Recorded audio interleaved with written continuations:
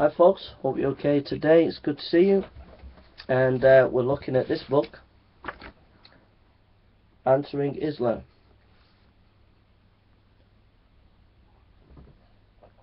And um, we're looking at the Quran on page 192 and about the claim that the Quran is a miracle because of its eloquence.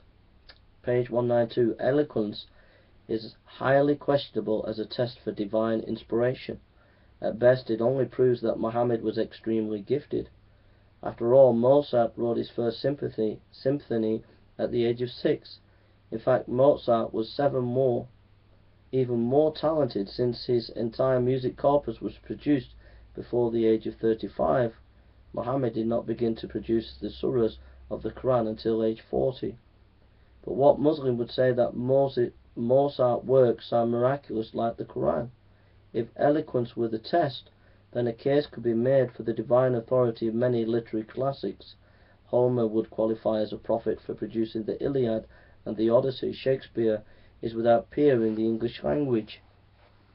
But Muslims would scarcely accept the challenge to produce work like Romeo and Juliet, or else accept the divine inspiration of the works of Shakespeare. Furthermore, the Quran is not unrivaled even among the works in Abrahamic literature. So we'll look at that. Um, yeah, I to say that the Quran is the word of God because uh, of its eloquence, and no one can write a surah like it. Um, and that this is the test that, you know, that's not a, an objective test. Who's to say that the literary merit of the Quran is above any anybody else's ability to write?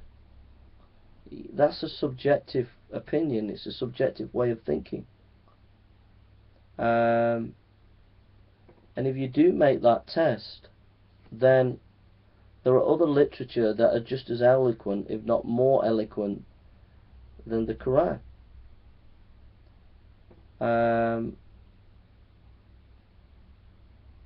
so I'll be interested to hear what you have to say as Muslims.